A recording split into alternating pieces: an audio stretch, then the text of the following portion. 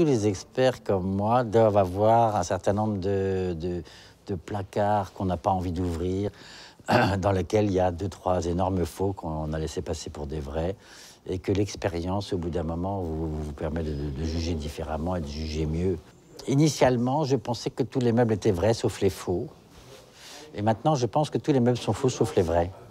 Donc ça fait une approche très différente. Et ça veut dire que la méfiance doit être euh, extrêmement aiguisée à chaque regard sur chaque meuble. Et si c'était un faux? Et si c'était un faux, est-ce qu'il est y a des éléments pour me tromper? Est-ce que euh, c'est tellement bien que c'est peut-être un faux trop bien?